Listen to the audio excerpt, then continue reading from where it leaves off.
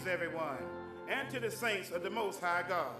You're now listening to the Whole Truth program coming to you from the sanctuary of the church in the Lord Jesus Christ of the Apostolic Faith Incorporated, where Bishop Joe C. Tisdale is pastor and general overseer.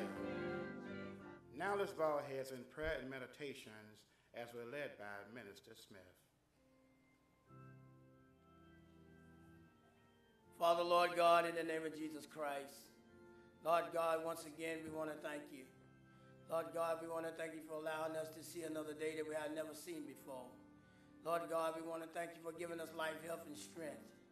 Lord God, we want to thank you for giving us an unction, my God, to assemble in the house of prayer. Lord God, we praise you, my God, for all things in your great and mighty name. Lord God, we thank you, Lord God, for this gathering today in the name of Jesus Christ. Lord God, we pray, my God, that you give us a mind to hear your word, Lord God. We pray, Lord, in the name of Jesus Christ, that the word fall upon good ground.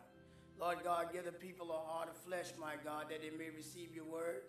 Lord God, that it may prick the hearts and minds of men and women as they hear the word of God. Lord God, give them a mind to give heed to your word. Lord God, by repenting of their many sins, Lord God, being baptized in the name of Jesus Christ for the remission of their sins. Lord God, give them a mind to call on the name of Jesus Christ until you fill them with the gift of the Holy Ghost. Lord God, we pray that you continue to give us a mind to continue steadfastly in the apostles' doctrine, breaking of bread and in prayers. Lord God, we pray for the man of God, Bishop Joe C. Tisdale. Lord God, we pray that you have a word in his mouth, my God, with the words of life. Lord God, that's able to breathe life into a dying soul. Lord God, we pray for all the sick. Lord God, the burdened down and the trouble. Lord God, we pray, Lord God, that you bless them to know that thou almighty and thou can make a way when there's no way. Lord God, we pray for them that are walking in darkness. Lord, for the lost sheep, them that are not of this fold, but them that must bring. Lord, continue to bless your church, Lord God, the church in the Lord Jesus Christ. Lord God, help it to be that beacon of light, Lord God, that give men and women a hope, my God, that they may be able to save themselves from this untoward generation. These and all blessings we ask in the name of Jesus Christ, we pray. To the glory of God. Amen. Again, you're listening to the Whole Truth program. If you have any questions or comments, you may mail your correspondence to the Church in the Lord Jesus Christ of the Apostolic Faith Incorporated, Bishop Joe C. Tisdale, Post Office Box 2017, Hartsville, South Carolina. You can also call our toll free number at 1 877 332 5661. You can also visit our website for additional church information, such as beliefs and calendar events, as well as audio sermons preached by Bishop Tisdale. Our official website address is www.thechurchin.org. Now, at this time, the choir render a selection entitled Turn On the Current.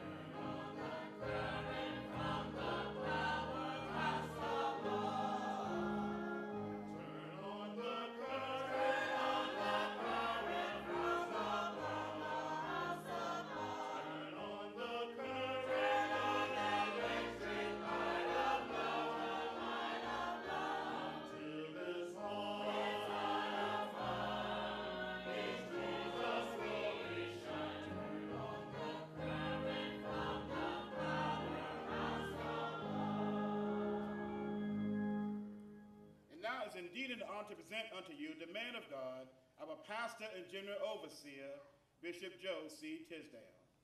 We do give much honor and praises to our Lord and Savior Jesus Christ.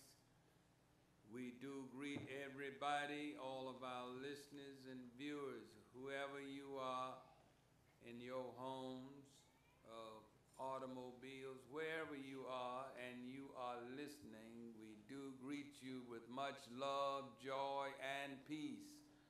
May it be multiplied unto you in the name of Jesus Christ.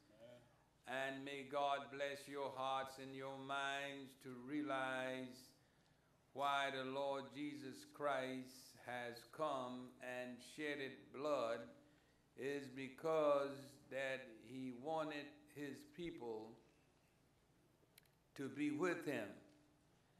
And for that reason, God people had sinned, and this is the real reason that Jesus Christ had to come to the world, meaning God, the Son of God, Son of Man, meaning he was God in the flesh. The Bible tells me without controversy, it was God that was manifested in the flesh. Now people telling me that they love God. Says one God. Sure it is. But don't you believe that as the word of God says, he was manifested flesh? That's right. You have to realize this without the complaining. Amen. We shouldn't have a controversy here now. God Amen. was manifested flesh. Say, how was he manifested flesh? And the words of God says how it all happened. Amen. Amen. 1 Timothy 3.16. Amen. Amen. God was manifested flesh. Why are we complaining? Why are we arguing? Amen. If God was manifested flesh, what does that mean? That mean he was just like we are. We are flesh and blood, right? Yeah. All right, that's how he came to condemn sin in the flesh. That's right. Your people better get your minds right and let's go on with God. Amen. Amen. The God that was manifested flesh that said all power given to him in heaven and in earth. Amen. You need look no further. You need not look to the east nor the west. Amen. You may as well look to God. He is the only one. Yeah. He is the only one. Amen. He's one Lord. He's one God. And He's over all and through you all. You don't have to worry about a second one. It's only one. Amen. People try to divide him, say Jesus the Son of God and Jesus the Son of Man and all this and that, but that was God. You can start with God and say, it's all right. Is that right? That's right. Amen. What the word say here, reader? Amen. First Timothy 3 and 16. Yes. And without controversy, Without controversy.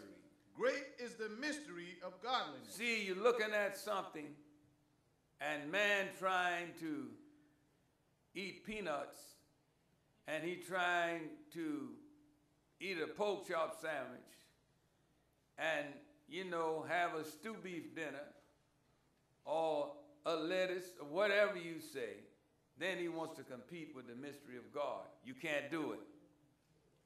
You can't compete with the mysteries of God without God Almighty revealing himself unto That's us. right. That's right. No natural man know who he is. God have to reveal himself by the Spirit of God. Amen. And the word tell me here with what? Without controversy. Great is the mystery of godliness. Now, if the mystery of godliness is great and he was manifested flesh, I should be pleased today that God has worked it out. Amen. That he was the one that treaded the wine press alone by himself. Yeah. His garment was bloody. My Amen. God, he, he did it alone. He saved, he did all of it by himself. Amen. He said, Look, and he wondered that there was none to uphold. He Amen. said, My own arm brought salvation unto me.